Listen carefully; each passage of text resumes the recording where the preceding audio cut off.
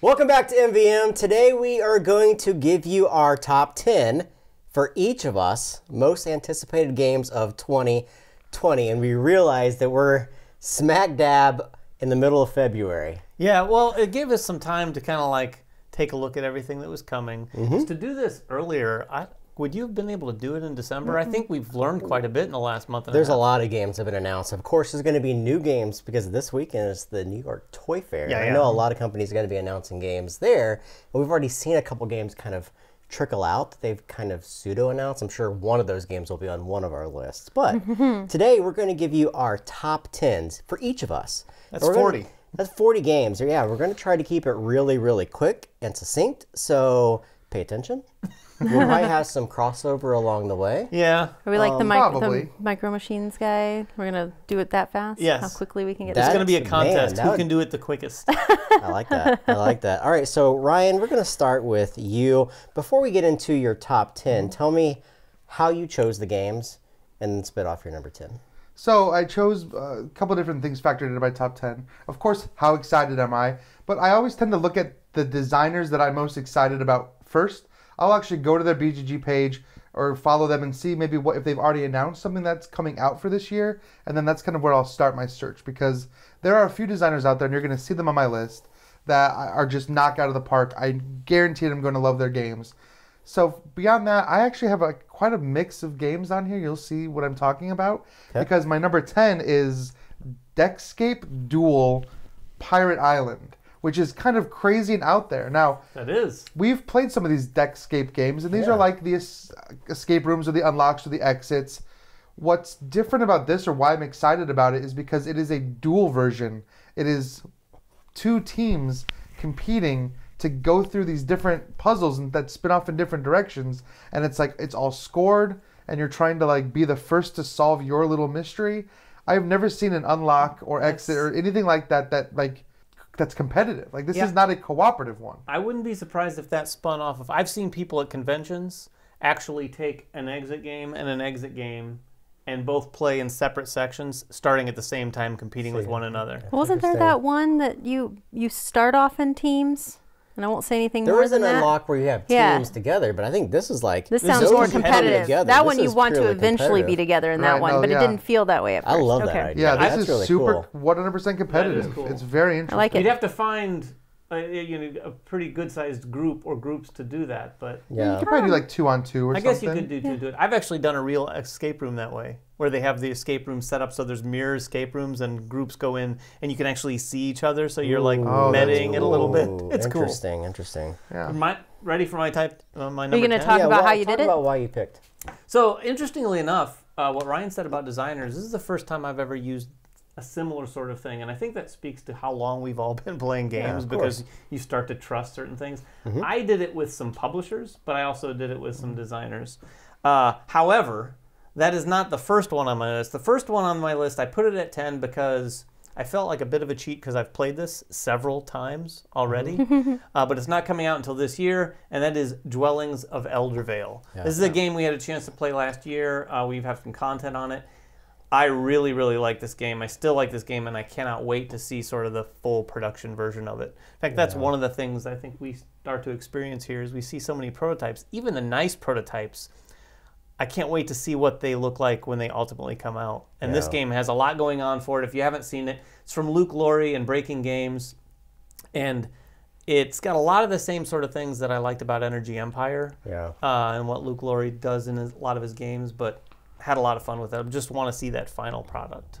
All right, so I was very cognizant of not picking games that I knew were going to be on Kickstarter in 2020, but not delivering to 2021. Mm-hmm. so there are four games like Aridia, Dark Ages, Ankh, and Kemet. Did you guys know there's a new version of Kemet? I did, I coming saw out? that. Yeah. But it's not till 2021. All four of those would 100% be on my list, but I was trying to stay in 2020. So just like you guys, I picked designers that I like. I picked companies and publishers that I knew were going to deliver really good components. Uh, so my first one is this could easily be my number one, and that's What, it's your 10? It's my number 10. It's Marvel, and I don't want to talk about Marvel all the time, but this is the story version of Marvel. This is going to kind of change things up a little bit, but it's going to be a campaign. And I've heard, now this may be a rumor, but I've heard it's going to be Hydra. Oh, is the first campaign that you're going to fight against. I'm super excited for that. I'm excited for any of the Marvel content. I'll just leave it at that. But this is going to be around Gen Con. So it's after all these small expansions and small little uh, villains you're going to Interesting. fight. So Now you've got my gears turning about how that theme could play out in a story campaign. I'm, I mean, I, this is a game that I'm going to play through the life cycle of Sure. the game. So it, I can constantly keep this on my list, but I want to keep it high uh, so I can get some other really good games uh, down the line. Very cool. Ten. Yeah, to your point, I mean, Wonderlands were started on my list, and then I went and checked the campaign, and I was like, oh, it's 2021, even though, because it's, you know, there's a lot of I production was thinking for that about game. that one too. So uh, for me, I, I obviously started with the Kickstarters that I've already backed that I'm waiting on, um, and then and then from there, there's just things that I've been keeping an eye on and, and throughout. But it just that's a good segue into what my number ten is because I think it might have been on my anticipated list for last year too because it was supposed Uh-oh. to deliver last Well, year. Jeremy's had one on the last couple of Brazil. years. We'll see if it's on this right. time. Tang Garden. Oh, yeah. Oh, Oh yeah. Yeah. So That's coming Yeah. very soon, Delivering right? now. I, I I saw an update from Thundergryph saying that it was going that it's stateside and custom stuff, and so it's going to be getting to the shipping partner, and that, I'm guessing I'll have it in the next month or so, hopefully. So fingers crossed. Very cool. All right. All right, nine. number nine. My number nine is uh, a Kickstarter that was that last year. Uh, we actually did a preview for it, delivering this year. It's called Waste Knights Second Edition. Now, a game like this doesn't always appeal to me. It's like this big sandbox, but it's cooperative. But what really drew me in when we played just the prototype Yeah. was how the story is integrated into the gameplay and just the vast amount of decisions you get to make in that story and how the game drastically changes throughout that because you'll have this huge book i mean huge book Yeah. and it has you flipping back and forth constantly and you'll get to new pages which will actually introduce new scenarios or change the scenario you're playing right in the middle of the game. And a lot of times it gives you options. So it almost felt like like fallout when you're approached by somebody and they say well you can go collect these things and give them to one faction or the other. Well the decision echoes throughout the entire rest of your hmm. campaign. And i'm really excited like you said seeing the final version of this and like what the final components are going to look like i'm very excited for I had it fun with that game too, and the artwork is astounding. Like we didn't realize how good it was until they started Mm-hmm. sending us all the different like artwork pieces. looks really cool. Yeah. Cool. So my number nine is one that was announced, I think maybe just earlier this year, maybe late last year. This is Alma Mater uh, from Eggertspiele, and it's sort of the follow-up to Coimbra. Oh, Um, I don't know how closely it's tied with that, but if you look at the pictures, yeah. some of the characters on the cards are literally the same characters. I don't know if that's placeholder, but it's definitely the same art style, and they've definitely given the idea that it's gonna push a lot of the same sort of buttons that Coimbra did, and we all like that quite a bit. Although hmm. It doesn't get to the table No. uh, very often, but it is a very, very good game, and I'm looking forward to this, and I love the way it looks. and Coimbra's still in my collection. Yeah, I don't know if me I'll get too. rid of that. i played a lot actually i play Yeah. it's one of my go-to's It needs an Really? expansion, I think. Yes, I would agree. All right, so my number nine is Hallertau. You guys heard of that one? It's No. okay. So it is a one to four player game, 90 to 180 minutes, so up to three hours. Uh, Lookout Games. So listen, it's Lookout Games. It's Uwe Rosenberg. Oh, the I, Rosenberg I didn't know how to yeah. pronounce it's it, but now I know what tile you're talking placement, about. it's worker placement, and it's farming. Like, how can you go wrong with with any of that? But anyway, Hallertau is a, I guess, a city that's located in Bavaria or Germany. And basically, what you're doing is you're using workers to rotate the crop tile. So, if anyone knows anything about crops, you're planting in one season and planting a different field in a different season. You're going back and forth. How he's going to expand this into a three-hour game, I have no idea, but I'm on board. Anytime Uwe comes out with a big game, especially Lookout, I know what kind of games Lookout does. And they're the heavier Euro type of games, so I'm always into those styles. this almost feels like a follow-up to caverna in some ways like it Please, could be yeah bring on a Caverna, bring on a, another Agricola, any Uh-huh. of those type of games. So cool. all on board. So my number nine, it, it's two. It's technically two games because one's coming out before the other because it, it hasn't come out yet, or it's about to come out. It's right on the edge of coming out. And that's Disney's new Villainous one, which I know we already got a copy of Perfectly wretched. right behind me. Uh, but obviously Marvel Villainous because those are both This hitting is this fresh year. news I'm right so. Very fresh news. Very excited about it. Love the Villainous series. I was literally talking to my dad about it on the way here.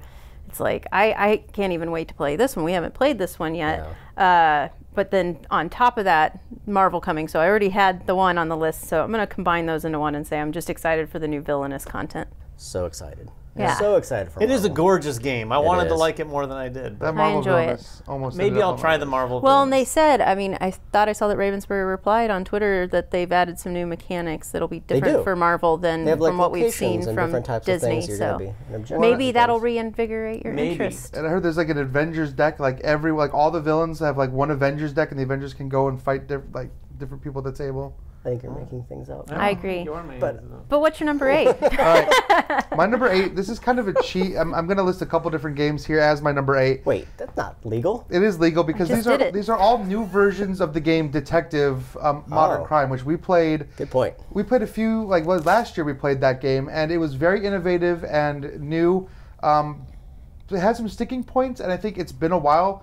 Uh, I want to see what he can come up with next. I want to see how he can expand that. He has three things coming out. There's a season one pack, which is like a set of short stories, um, and then there's something called Dig Deeper, which is written by Rob Daviau, and so that's part of the reason I'm super excited. It's a entirely new campaign storyline written by Rob that uses the detective me- mechanics, and then another one called the Vienna Connection. So all three of these stories are coming out this year, and they're going to introduce new ways to interact with detective and probably some new technology things. I just really want to see how they build on what we've already played. I had fun with that game. Super I- excited for that. I never played it. It's we didn't we didn't get it into sometime. it deep enough. I've been waiting for us to get back to it. Well, We need Now to. we have it's the good. opportunity. Yeah. Yeah. Yeah, with this mm-hmm. content. All right, my number eight is also from Uwe, mm. but it is not the game that you just mentioned. Mm-hmm. And this one is coming from a publisher who really hit it out of the park this year, Capstone. Did you know about this one? wait. This one is called New York Zoo. Oh yeah, yeah, yeah. Uh, and at first I looked at this and I thought, oh, that looks it looks awfully light.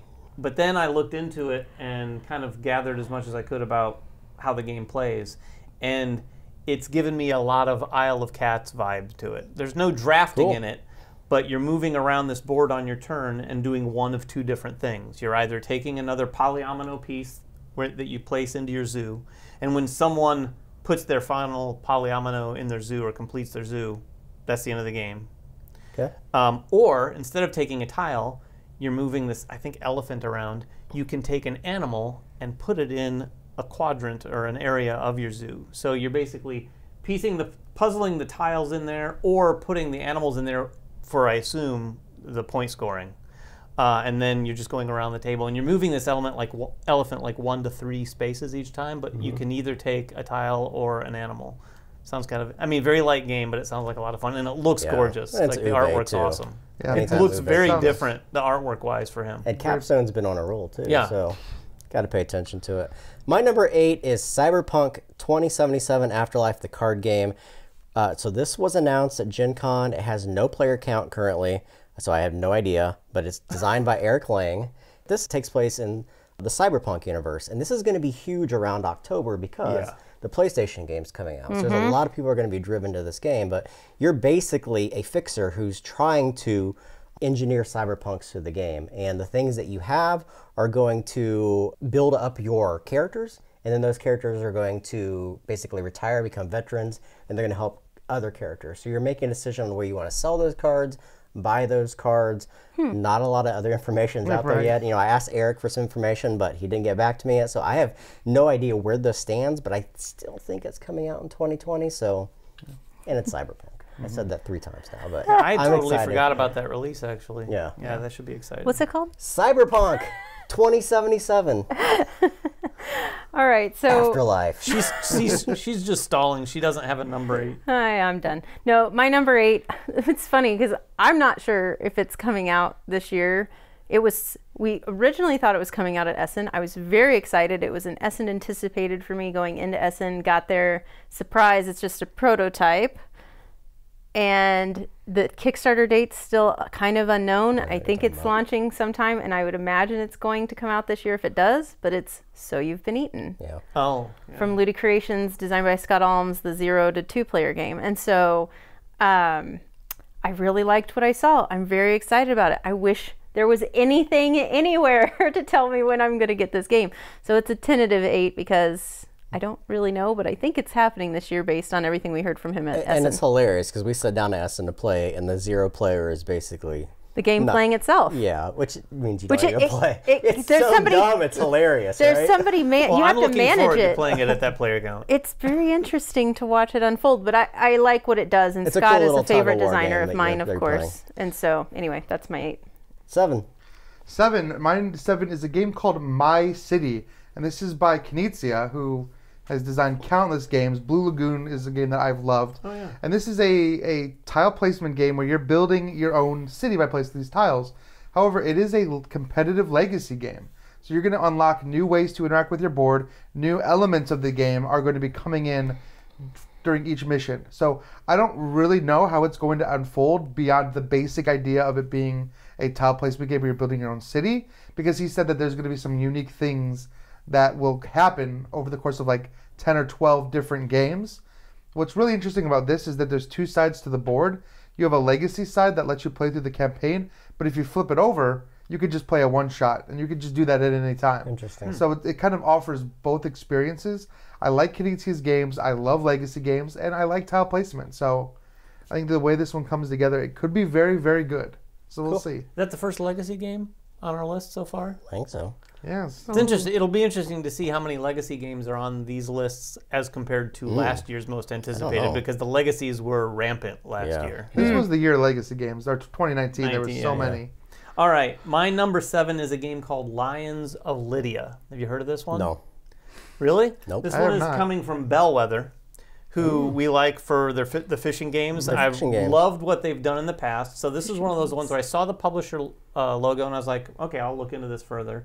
Um, it's designed by Johnny Pac. Oh, is it? Yep. I Oh, like Johnny cool. Pack. And it's not based in the American West or anything What? like that. it's not. No, Nor this is it fishing. this is about like the uh, origination of economy and currency, and it's. I know very little about it, but it looks really, really pretty. It looks like a amazing euro, but it's from Bellwether, so it looks like you know the same sort of mechanics and uh, good games we've seen from Bellwether, but with a very much of a euro look, very colorful euro. I mean, he's not only a good designer, but he's a good developer as well. Yeah. And I know that the game, you know, you know, going into a game bu- designed by him, that you're going to have a very nice, tight design that you're going to enjoy. We, ha- I don't know that we've played anything from him recently that we haven't felt that about. My seven is called Golem. It's a one to four player game. It's 90 to 120 minutes from Cranio Creations. This is from the exact same team that did Grand Austria Hotel. I know a thing or two about this yep. game. Right, and they obviously have some mechanisms that kind of borrowed from Grand Austria Hotel. It takes place in 19th century Prague, in which the rabbi created golems to help protect the city. And what you're doing is you are Kabbalist, who is creating a golem for the city as well. And it's a kind of an engine building, which you're creating. uh, cre- Golems are fantasy? I mean, maybe I don't know, but you're creating this golem, and you want to make him powerful, but not too powerful because he can start to wreak havoc on your city. So, cool. super excited about this one. It's got an incredible pedigree. I've always liked Cranio Creations with all the games they create. So, Mm-hmm. Absolutely. it's a Euro game. Uh, so that's my seven. That sounds awesome. I uh, missed that one. I'm definitely excited to check that out. Um, for me, it's Archives from Ankama. I This like is- that one. This should be coming out in December, and I'm hoping that it's so late in Did the you back year. I did. I'm hoping it's so late in the year that the factory stuff that's going on right now isn't going to affect Mm-hmm. that delivery and push it into 2021. So I'm hopeful. Um, I liked what we saw when we first saw it at Gen Con Mm-hmm. Yep. last year. We got to do the preview. It's it's a very interesting way that the whole thing in the box and everything goes together, and you have this little backpack. So uh, I'm really excited for that one. It's I can't like wait a to get it. pseudo light campaign. Yeah. It's kind of a legacy game because your characters are going to build up through the campaign as you go. It's beautiful as well. Like, Beautifully done. All right, my number six. I think we might have the first crossover. My number six is Golem as well. So, uh, same thing as you. I mean, I see the team behind Grand Austria Hotel, and that is Yeah. an immediate buy for me. Yeah. Mm-hmm. Like, there is no way.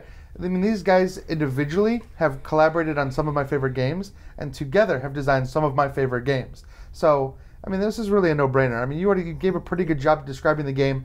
They haven't released a lot about the actual like mechanics of how you're doing this yet. Yeah. I haven't really even seen a bunch. Like I looked for pictures, trying to see the game in progress, but I haven't even seen a lot. Yeah. Yeah, the one So- thing they mentioned is that it definitely takes a lot of its cues Yeah, from Grand Grand Austria Austria. Hotel. At least that's what the description I read said. Yeah, well, that one's not on my list. not yet. Right. Uh, but my number six is Viscounts of the West Kingdom. Good. This I'm is glad someone included that. This is the next one in the West Kingdom series. Yeah. Uh, we've had a chance, a brief chance. I've not read the whole thing to take a look at the rule book on this one, and it's like just like the other ones, changes things up quite a bit. This one works very, very differently. Has a really cool. I'm not even sure what all I can say here. If that's, I don't know if the Whatever rule book's out say. there. It's really cool. There's More to come. there's some cool mechanics. There's a card sliding mechanic where on your turn you're playing a card and it slides your row of cards down and one drops off. And the one dropping off might do something when it drops off. The other one is going to have some impact on your turn. And there's this big round board with this cool 3D structure in the middle. Yeah. That's like a castle. Uh, again, looks very similar to a lot of the other, uh, you know, visually, a lot of the other West Kingdom games. And these have really never disappointed. I mean, Yeah, I mean, I have to say, I have huge expectations for that game. Being that Shem has continued to deliver quality games year after yeah. year, it's amazing that he's using a lot of the same art, the same icons, some of the same gameplay, and keeps creating new things with them. It So- is. In fact, when he sent us the rule book, I thought, how does it feels like he went into the future, designed like all these games, and he comes then back and he's just slowly trickling them out. Right. That's hilarious.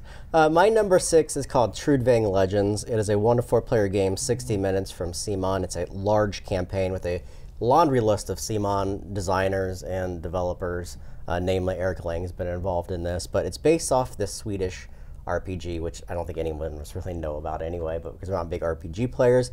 The things that you do in the game are going to change the people that you interact with, the kingdoms that you encounter, and the very set of rules of like the gods. And that's mm-hmm. done by the cards that kind of slide into these areas on the map. So as you upgrade areas or you don't do certain missions, the gameplay is going to change drastically. And it's a campaign game, it's a longer game with a lot of different, you know, stretch goals that came out with the Kickstarter. So I'm super excited about that. Eric showed us that maybe a year ago. At Gen Con. It's just a really, really intriguing game for me because I like those campaign, those lengthy campaign games. And this is a world that changes, which is really cool. Yeah, that changing thing you dig a lot. Yeah. Well, it, it does things I've never seen in a board game, and that's rare. Like it, lit, like the way you slot those cards in there, like it's super cool and very satisfying because, it, like you said, I mean, not only does it change the board, some of those cards change the very rules fundamental that you rules. play. Yeah, yeah. Very cool. From come on, come on. come on, say come Simon? on. Come Yeah, on, it's whatever. not CMON It's, it's anymore. hard. You It's a hard. I'm gonna keep for me. It's a hard. it is It's a hard hard change. change. Yeah, for sure. I, we were uh, just having that debate the other day. Um, all right, my number six is another one I backed, and that is Super Fantasy Brawl from Mythic Games. This is Oh, supposed to hit in March. I absolutely love this. We saw it at GAMA last year, and then we got to uh, do the preview as well. And then when uh, Az was still with Mythic and he was here on set around Gen Con, we got to see a more final production of the miniatures. And then, of course, uh, at Essen, got to see all these wonderfully painted ones. Of course, you don't get those wonderfully painted ones in the Kickstarter, You but now you're I want gonna have yours painted. I need like I want to know I want that guy to paint them. The guy that they use, I want him Oh, to yeah. paint them because they're so beautifully painted. But uh, my husband's excited to get it and paint them, and I, I liked it. It was a two-player game. It's you know this Super fun fantasy, very satisfying game. Absolutely w- great way to put it. So that's my number six. Cool. All right, my number five. I hope I'm pronouncing this right. It's Tekhenu Obelisk of the Sun. This is a game from Daniel Tascini, who did some of the best Euro games that uh, that I love so much. And this is like an interesting like obelisk mechanic where there's an obelisk standing up and like the sun rotates around it and makes shade on different parts of the board, which is super weird. But like it changes the way that these actions are being taken based on whether you're taking them in the sun or taking them in The the, shade, shade. yeah. It's like I and I don't uh, know much about the actual gameplay other than like its dice placement. There's a bunch of these different god powers that you can trigger that are linked into Egypt, which I like that theme very much. Um, so I think this is a, kind of an all-star team working on this Yeah. game. So should be really good. Board & Dice continues to deliver quality Euro games. Oh, absolutely. Absolutely. Yeah, Rayner ran me through kind of a not a demo, but he was like walking me through with kind of a very very prototype board in front of us with that whole obelisk mechanic, and it it has a lot of great just good old fashioned Euro things going on. There's stuff all over the board that are different things that you can interact with and get points from. It Yeah. sounds Yeah. cool. My number five, I don't know if I'm pronouncing this right. Fallout Shelter. I'm just kidding. uh, Fallout Shelter from FFG. As you know, we're all into video games here too. Uh, and while I've never really played Fallout Shelter, I am very familiar with it. My son, one of my sons, has played it quite a bit, and I think of the Fallout franchise, Shelter lends itself really well to Yeah. the table. Yeah. Um, and you know, there's a video on this. Have you seen that? No. Oh yeah, FFG yeah, did a uh-huh. live stream of There's it. a con- there's Yeah. some content of it that was from over in Europe, and uh, it is a really interesting gameplay. And they have all these little tiny uh, miniatures for all of the different letters and special that you're using kind of as workers to go out and do something. Interesting. So if you use the L in special, which I think is, is that luck. Yeah. Yeah. mhm. If you use that miniature, and you're going to a place that benefits from taking a luck miniature there, you're going to get more. It's kind of like worker placement. You're getting stuff from a location if you use certain types in certain locations, and each of the miniatures are actually different sculpts for the different uh, qualities. And the app felt like a board game to begin Yeah, with. Yeah, that's right. so- Yeah. Cool. Uh, my number five is Troyes Dice. Uh, most people know Troyes is one of my favorite games of all time. I love it. It's a really uh, thematic Euro game, which you're pulling dice from other players. But this one is a one to ten player game, and it's a roll and write. But it's Not from the zero, same. though. Yeah, but it's right. But it's from the same set of designers uh, and from Pearl Games. So thematically, it does a lot of the same things that Troyes does. You're you know you're using those dice for uh, allocating to your area. You're building the cathedral. You're developing different areas on the board. Uh, using your workforce in different ways, um, and I'm just really enamored with just Troyes in general. I don't know much about the game itself and what you're doing, but it's kind of cool they're taking it to a roll and write, which I think everyone's kind of doing right now anyway. But it's Troyes. All right. what were you gonna say? Four. Four. I thought you were gonna say something. Sorry. No, five. he it's was- five. We're it's on five, five. still. Yeah. We're on five. Uh, my five is Sleeping Gods from Red Raven Games. This is supposed to hit in May. Yeah. Uh, we all, I believe, are excited for this one. Very much I'm not at all. Okay. I'm just kidding. I am. Three of the four of us are excited for this one. Uh, we got to a small taste of what, and when I say small, it was a massive amount of gameplay in that small taste that we got, and uh, I'm looking forward to getting into it. We, we played for like three hours. I know. That was the. It's a small a taste. Little taste. Yeah. Just a little taste of it. Yeah. All right. All right. Four. Four, We are on to four Right. now. My number four is Roll Player Adventures. This is a new game set in the Roll Player universe for those who have played Roll Player. It's a dice drafting game where you're building out basically a D&D character. This is taking that a step further um, and actually kind of turning Roll Player into a role-playing game. So there's going to be the chance to just kind of play it out of the box, or theoretically like make your character with Roll Player and then play Roll Player Adventures with that character and I think that the team has constantly surprised me. The mm-hmm. expansions for roll player have all been really Yep. good. I've enjoyed the other games set in that universe, so I think that this has all the ingredients to be like just a huge crossover between like board games and role playing games. Mm, yeah. Cool. Yeah, they've done a great job with the expansions. Oh, yeah, I wouldn't for sure. expect uh, anything less than awesome. Uh, my number four, four is what we're on. Mm-hmm. This is one I haven't played, but it has been sort of in the conversation for a while now, and that is um, the Crew. This is the co-op trick-taking game. From what played I it. understand, you've played it. Kosmos. Yeah, And all I've heard is fantastic things Yeah. about this. I think it was PAX last year, so shortly after Essen, I went walked around and I ran into Tom from Dice Tower. I ran into uh, someone from BGG, and it was oh, and uh, A guy. a guy, A girl. uh, from Bessier. Okay.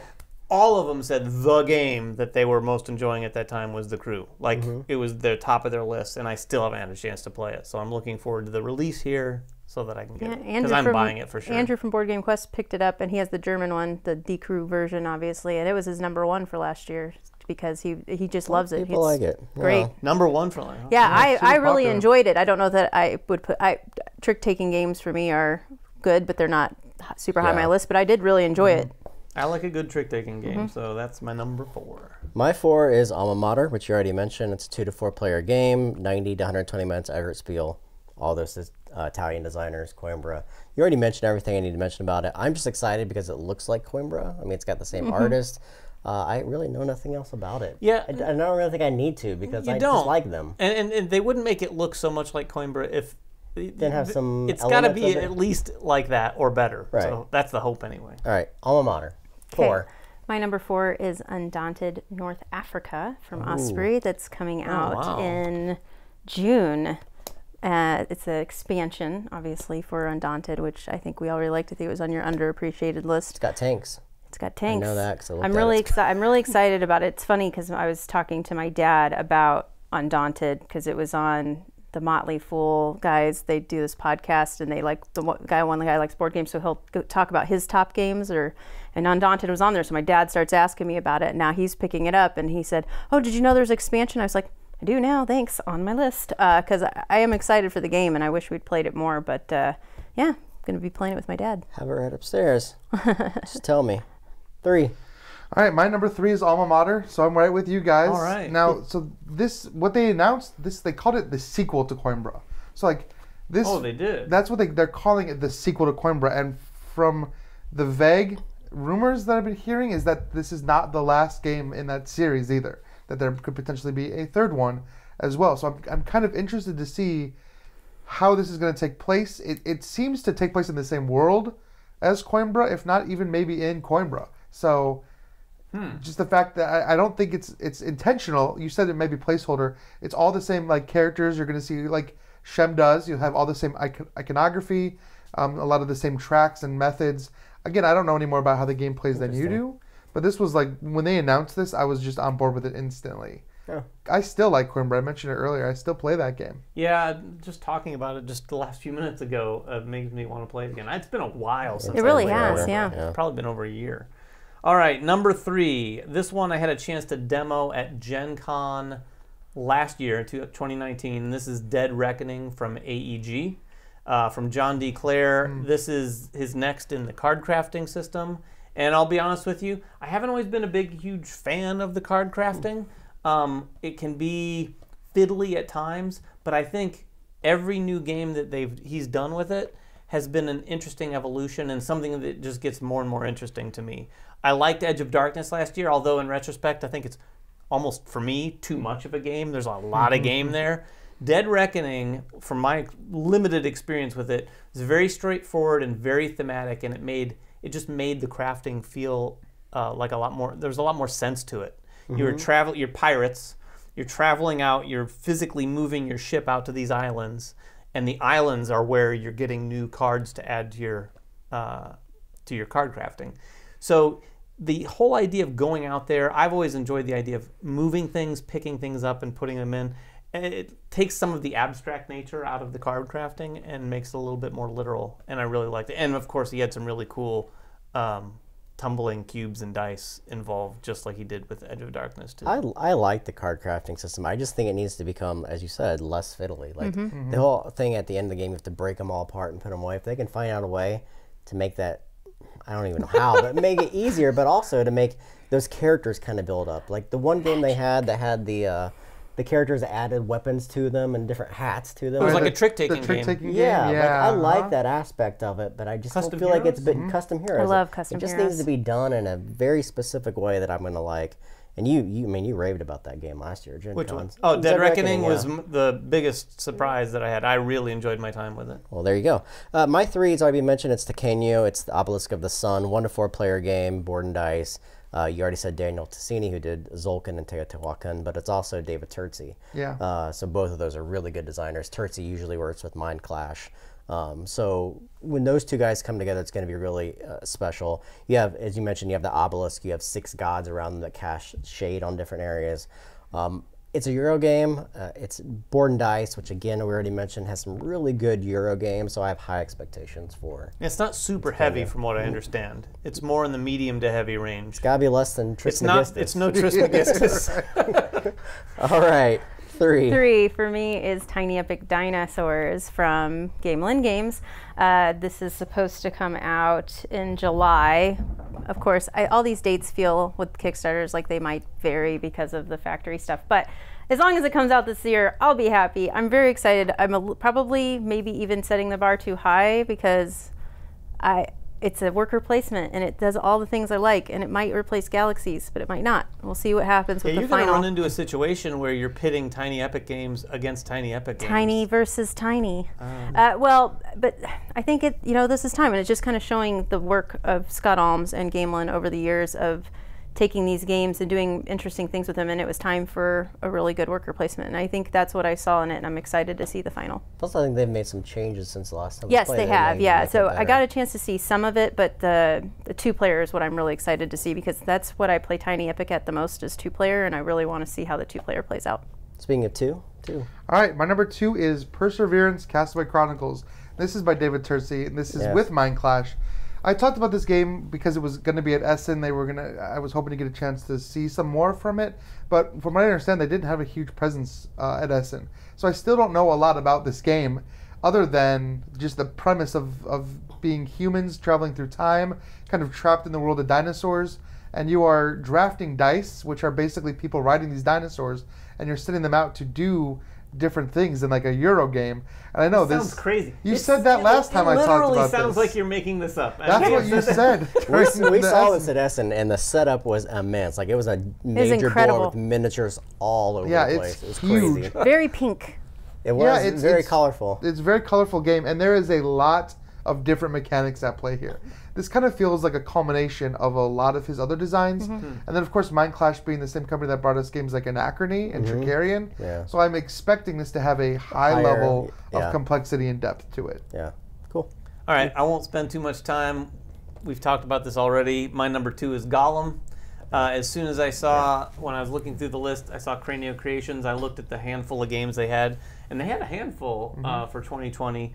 I looked into this one, and it's like you both already said. As soon as I saw that it was from the Grand Austria Hotel team, and it took its cues from that game, I was like, okay, I'm in. Because I love, I mean, we all love that game, and I love it at any player count. I'm just gonna say it right now. Yeah, I don't it mind at four. playing it at four players. That's a lot, though. uh, my number two has been mentioned. Sleeping Gods, one to four player, sixty to eight hundred and forty minutes. I crap you 840 minutes It's Red Raven Games per Uh, player, right? Man, we played this game last year, and we literally, as you mentioned, had to pull ourselves away from the game to stop playing it. So good. I, I, you know what? Above and Below was just an okay game for me. Near and Far was a better game, but it started to drag about midway Yeah. through. This game, I could not pull myself away. Like Hmm. it's set in the 1920s. You are on a stranded ship called the Odessa. Uh, you're trying to find your way back. You're trying. It's a, it's a campaign storybook, just like those style of games. But there's two things that really interest me about this game that I absolutely loved. Uh, one of those was the exploration and discovery in the game. Like you can go anywhere, anything yeah. you want to do. But it's like Dark Souls. Like if you go to the wrong place, you're gonna die. Don't die. But the other thing I really loved, and this was the biggest draw for me, and I think the best thing about the game is this communal pool of items that we had. Like we were constantly contributing to items, but we had a limited number of actions. So my actions could only go on specific ones, but I wanted you to have actions. And I wanted you to have actions to also take actions on these cards. So we were using cards, and those cards would be limited. Like we wouldn't have specific things to do, and you're going to be upgrading to the game. It was so much fun. Like it's easily the best Ryan Laukat game that I've played. Ah. I'm so excited to play this one. Mm. So Sleeping Gods. So my number two, I'm very lucky uh, for this game because I actually get to see the back end of it and the development a little bit and how it's been progressing, and that is Dice Throne Adventures Yep. from Roxley. I get the opportunity to work with them, uh, and so I've been watching and seeing how it's changed since we did the round one for it and the preview and all that fun stuff. And I have to, I can't say Dice Throne Adventures without saying also season one re-rolled Yeah, because that's coming out together and the, just seeing the season one characters in the new format and also the two new heroes are awesome. I got a chance to play them at PAX Unplugged. I actually have a pre-production copy at home to check out. I'm really excited about, and uh, it's just it's it's a great game, and it's taking one of my favorite games. It's taking it to a new place and giving me a new way to play it with more people. I'm so excited for this game. It was fun. I like that game a lot. Number one. We are to the number one. We are Does to the number one. Does anyone want to say anything special before we go to our number ones? Nothing. Hi, mom. All right, number one for me. No, Hi, Ryan's mom. no surprise here. Sleeping Gods for me. Yeah. This is a game that fulfills, I think, the promise that Above and Below and Near and Far made for me. That it was going to be dropped into this huge narrative experience and just get to explore this world. And if you think we're overselling this game, we're not. Like Yeah. there are s- so many things. Like this is a huge storybook map, and you're we actually could have a map in front of us that's broken down into little grids, and each of those grids refers to a page in the storybook.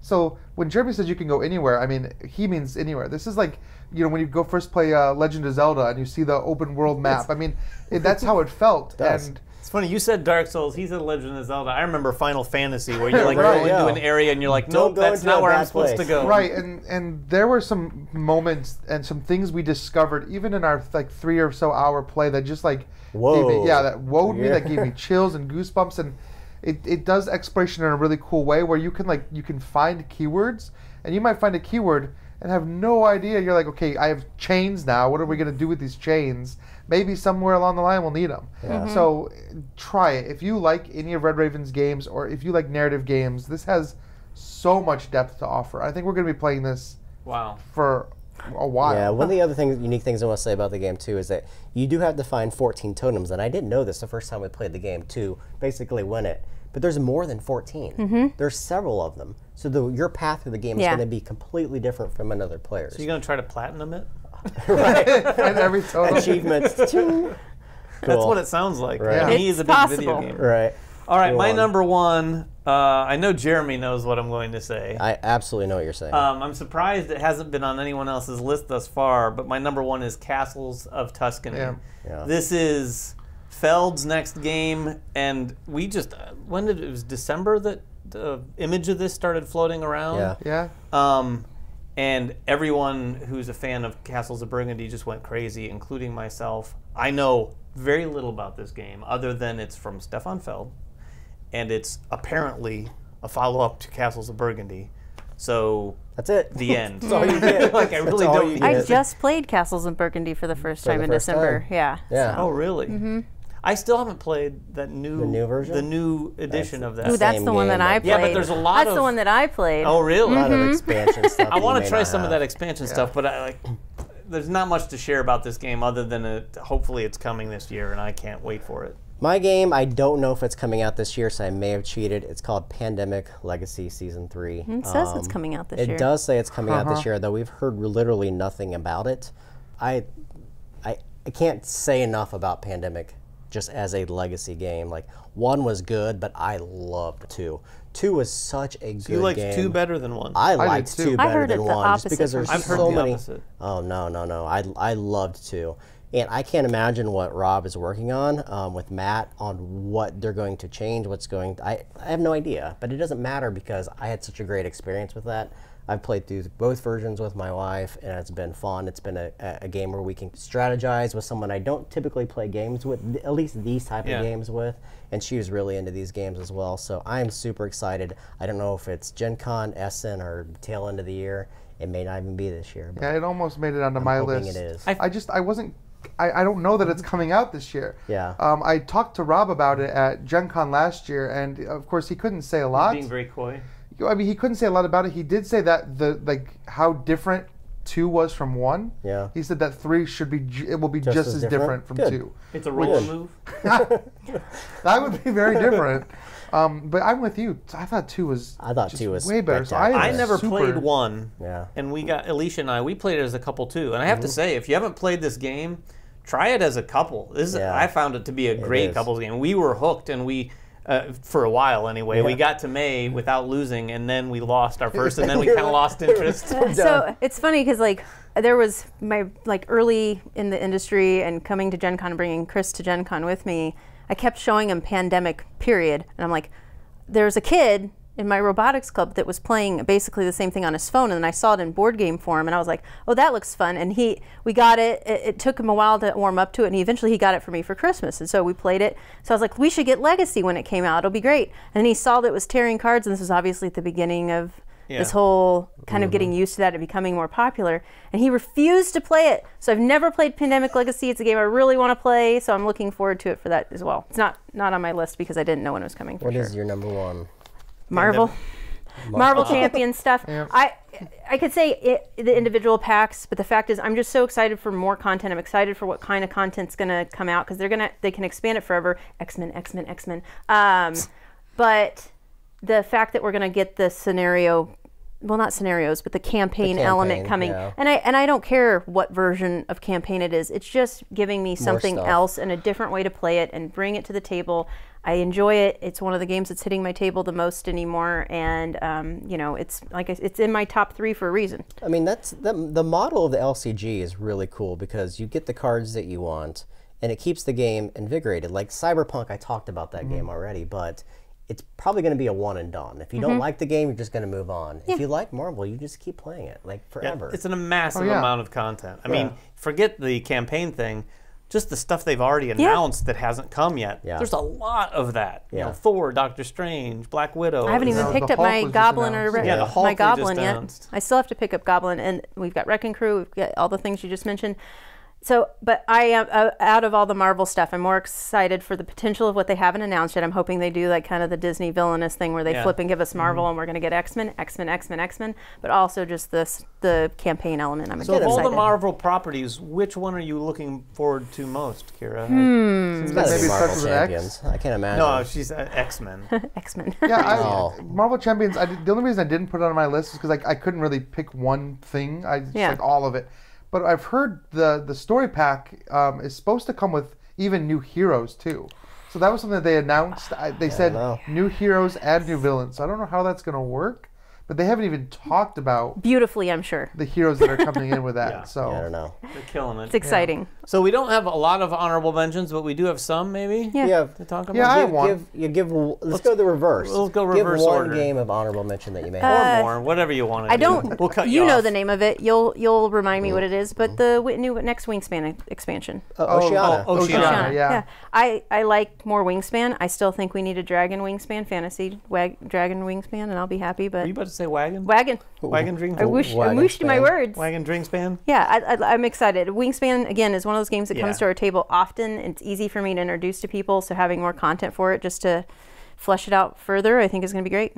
Uh, I, I'm not going to mention anything you guys already talked about, but there's a couple games. Divinity: Original Sin, which is from a brand new design Oh, yeah. house, which looks kind of cool. I love Divinity. I demoed it. I have at no PAX. idea if it's good or not. Um, Kemet, which is 2021, Ankh, and Dark Ages. I'm really excited for Dark Ages. Actually, that should be on our front porch right now because we're doing a Kickstarter preview for it. But it's um, it's a it's a sandbox civilization game, which is my wheelhouse, like like Civ. So, so we'll Yeah, how- no, that's how it plays exciting. Well, I, I didn't have any honorable mentions, but I just read about this one before I came over here today. I know very little about it, but it is a Back to the Future game Oh yeah. called Leader. Uh, no, Back to the Future, and it's from Prospero Hall. Um, Okay. And it's co-op, and you play as We're getting two Back to the Future. Marty games. McFly, uh, Doc Brown, the dog, Einstein, and maybe his mom. I'm not sure. But you're co oping all these different things back in the 1950s to get through it. So if this has anything like it, uh, Horrified going on in terms of mechanics, I'm down.